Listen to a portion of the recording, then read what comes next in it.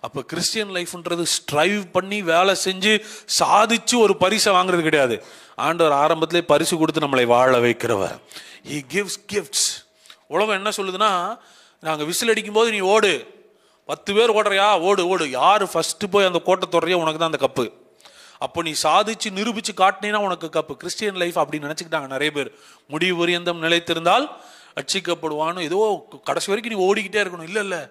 இங்கே எப்படி தெரியுமா கத்தரு கப்பை கொடுத்துட்டு தான் ஓடவே சொல்கிறாரு ஓடி முடித்தா உனக்கு கப்பு கிடையாது. முதல்லையே உனக்கு எல்லாத்தையும் நான் செஞ்சு எனக்காக ஓடுவதற்கான நற்கிரியை செய்வதற்காக சகலத்தையும் அவர் முன்னதாகவே ஆயத்தப்படுத்தி வைத்திருக்கிறார்.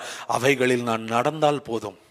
அவைகளில் நடந்தால் போதும். ஸோ ஒரு ப்ரெஷரில் நான் வாழ்கிறேன் பிரதர் ஒரு மன அழுத்தத்தில் தான் வாழ்கிறேன் ஒரு டாஸ்க் மாஸ்டர் நடத்துகிற மாதிரி தான் இருக்குது கிறிஸ்டியன் லைஃப்பில் வந்து நான் ஜாலியாக இல்லை.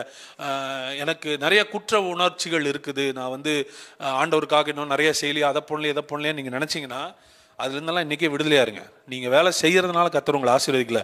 அவர் உங்களுக்கு ஊழியம் செய்ய விரும்புகிறார். ரட்சிப்பின் வாழ்க்கை நீ ஏதாவது செய்வியான்னு கேட்குற வாழ்க்கை இல்லை. உட்காரு நான் உனக்கு செய்கிறேன்ற வாழ்க்கை. உள்ளும் புறமும் சென்று மேய்ச்சலை கண்டடைய செய்து. ரட்சிப்பின் ஊற்றண்டையிலே மொண்டு பருகும்படி கத்தர் நம்மை அழைக்கிறார் it is time it is time to get minister not to minister கிறிஸ்தவ வாழ்க்கை நீங்கள் ஆண்டவருக்காக ஏதாவது சாதிப்பீங்களா? நிறைய பிரசங்கங்கள் எப்படி ஆரம்பிக்கும்னா அவர் உங்களுக்காக ஜீவனையே கொடுத்தார். நீங்கள் அவருக்காக என்ன செய்ய போறீங்க? ஜீவனை கொடுத்தாரில் முதல்ல அந்த ஜீவனை வாங்குங்க. அந்த ஜீவனை வாங்கி அந்த ஜீவனில் திருப்தி அடைங்க. திருப்தி அடைந்தவர்கள் அநேகருக்கு ஆசீர்வாதமாக இருப்பீர்கள். நிறைய நேரத்தில் என்ன ஆயிருது அப்படின்னா ஊழியம்ன்றது கடமைக்கு செய்கிற மாதிரி ஆயிருது. நானே திருப்தியாக இல்லை ஆனாலும் பேசணுமே.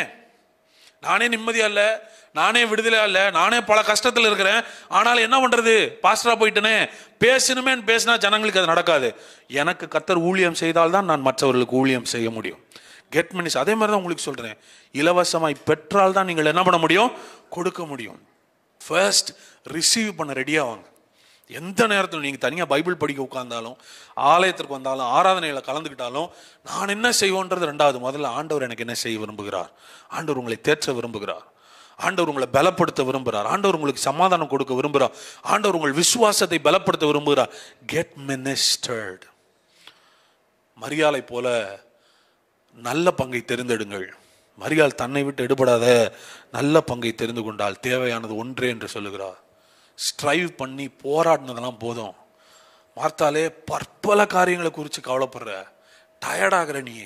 நீ செய் சரி அப்படித்தான் நீ முந்திட்டு போய் வேலை செய்கிற அதையாவது சந்தோஷமாக செய்கிறியா புலம்பிக்கிட்டே தான் செய்கிற எனக்கு யாரும் ஹெல்ப் பண்ணுறதில்ல நான் ஒருத்தியாக செய்கிறேன் நான் அதை பண்ணுறேன் இதை பண்ணுறேன் எதை ஒன்றை சமாதானமாக செய்ய முடியுதோ அப்போ தான் நீங்கள் கரெக்டாக செய்கிறீங்கன்னு அர்த்தம்.